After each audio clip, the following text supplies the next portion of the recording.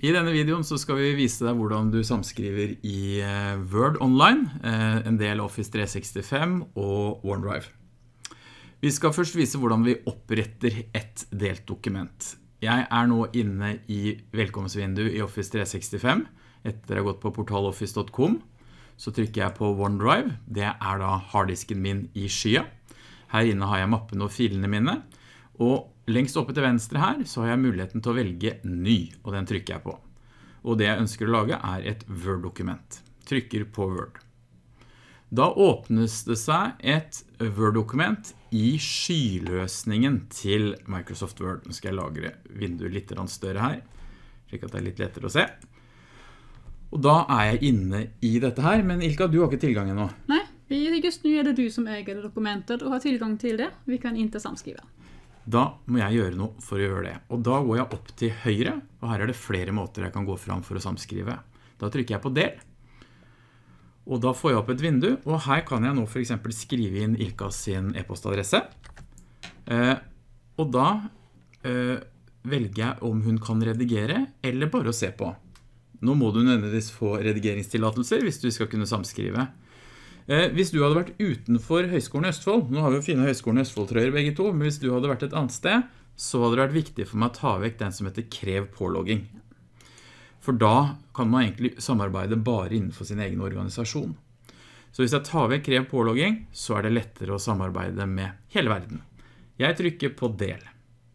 Nå får Ilka en e-post der det kommer en link til en delingskobling som hun trykker på for at vi skal samarbeide. Bare for å vise, det finnes andre løsninger også. Så jeg går bort på del, eh, og så går jeg inn på få en kobling, er et valg nummer to her. Og her inne har jeg flere alternativer. Jeg kan, hvis jeg tar denne drop-down-menyen her, så eh, får jeg spørsmål om eh, denne måten vi har hatt nå. Det som er fint med den måten vi gjorde nå, det er at da kan vi se hva du har skrevet og hva jeg har skrevet. Men i en anonym løsning, som for eksempel den jeg velger nå helt nederst, redigeringskobling krever ingen pålogging, så vil du skrive inn i dette dokumentet som en anonym bruker. Exakt. Det som er interessant her, det er faktisk også skillnaden til Google, eh, der man, kan, der man også kan jobbe i delade dokumenter. Her kan jeg velge olika linker eh, og dele ut linker med olika rettigheter til personer. Så jeg kan samtidig ha en person som bare kan se dokumentet, og jeg kan ha en person som skriver. Riktig. Da velger jeg denne her, rediger tilkobling. Vi har også mulighet til å gi en utløpsdato, så hvis du bare skal nå få redigere i en dag, så får du en dags rettighet eller mer. Vi kan hele tiden gå her og trykke på den knappen som heter delt med, for å få en oversikt over hvem som har tilgang til dette dokumentet til enhver tid. Og det er det jeg som forfatter som bestemmer hvilke tillatelser andre skal ha. Jeg trykker nå lukk, og vi skal gå inn i dokumentet, og så skal vi faktisk prøve å sånnskrive. Så, nå har jeg fått eh, denne linken per mail, og jeg klikker på den. Så ser vi hva som hender. Hvis vi følger med på høyre siden av skjermen nå, så vil det gå kun kort tid, og så vil vi få vite at i det Ilka trykker på rediger dokumentet nå, så vil vi få opp et varsel på skjermen at vi er flere som redigerer dette dokumentet. Der ser vi til høyre. Ilka Nagel redigerer nå dette dokumentet, og navnet til Ilka står oppe på toppen. Eh, og hvis du skriver inn noe nå, der har du skrevet hei Magnus, og først der kommer den opp hos meg. Litt merkelig at du heter anonym bruker. Det trodde jeg du skulle hete Ilka. Ja, det. Det, tror kanskje, det står jo oppe til høyre, men det er ikke alltid dette funker som det skal. Da skriver jeg under hei Ilka, og vi skriver nå inn i samtid i samme dokumentet. Det tok litt tid, nå ser jeg på skjermen at du er Ilka Nagel. Det tok bare litt tid i starten før denne funksjonen. Nå er det sånn at det grønne innsetningspunktet, det er nå deg, mens det svarte her, som skriver god dag, er meg. Hvis du nå klikker mellom god dag eh, og skriver eh, hei, så ser vi at du er, befinner deg der, ja. Så er vi på samme linje og det er samskriving. Det skal sies at dette med samskriving, det er veldig mye enklere å få til i skyløsningen av Word enn i skrivebordsversjonen. Nå går jeg opp her, og så velger jeg redigere i Word. Og da åpner dette dokumentet i skrivebordsversjonen av Word. Her i skrivebordsversjonen så oppdateres ikke det Ilka skriver så fort som ellers. Hvis du skriver god morgen for eksempel nå, Ilka.